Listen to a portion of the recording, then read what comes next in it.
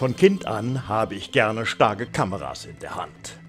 Dies hatte zur Folge, dass wahre Bilderfluten aus meinen Fotoapparaten und Camcordern flossen, die sich in unzählige Fotoalben und Diakästen ergossen, aber auch in Zeitschriften, Magazine, Bücher, Kalender, Kataloge und auf einschlägige Internetseiten.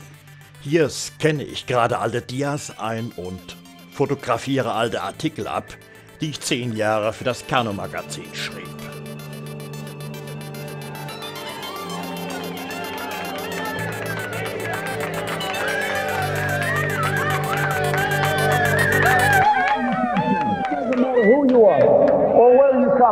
doesn't matter who you are or where you come from. It doesn't matter who you are or where you come from or what you look like or where you love.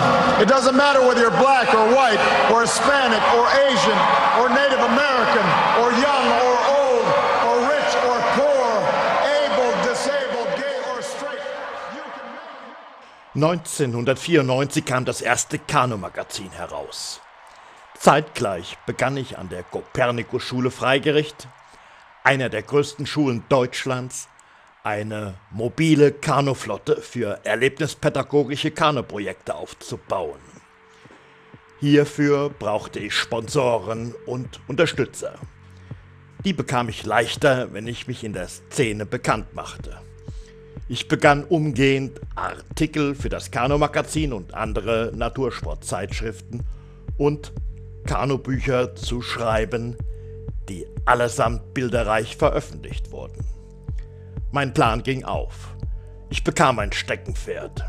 Eine mobile Kanuflotte, mit der heute noch, 20 Jahre später, ganze Schulklassen auf tolle Erlebnisreisen gehen.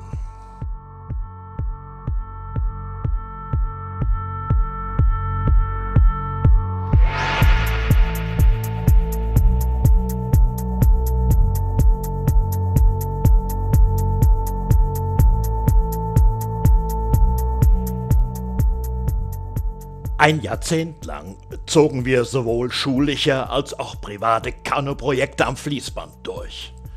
Bis schwere Sportunfälle beim Windsurfen und Snowboarden meine Hyperaktivität ausbremsten. Geblieben sind schöne Erinnerungen, die ich gelegentlich durch das Betrachten alter Fotos und Lesen vergessener Reisestories wieder auffrische. Doch wer beginnt über Vergangenes zu berichten, der wird alt. Aber so ist der Gang der Dinge. Irgendwann ist die Sanduhr abgelaufen und das herrliche Leben liegt hinter dir. Doch dann ist es schön, wenn der Blick zurück lohnt.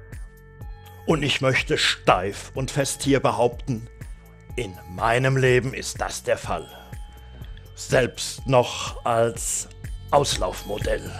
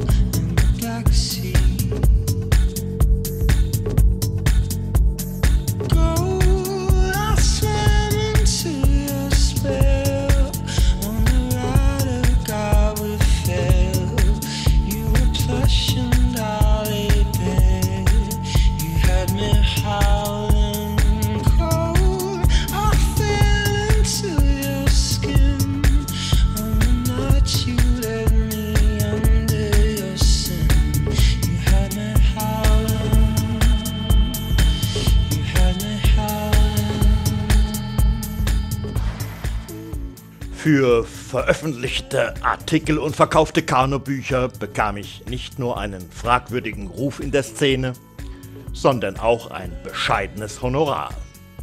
Das reichte immerhin zum Finanzieren meiner teuren Kameras. Doch gelegentlich wurde ich auch ums Honorar beschissen, wenn hinter den Kulissen Verlage pleite gingen und Zeitschriften die Besitzer wechselten. Damals hat mich das sehr verärgert.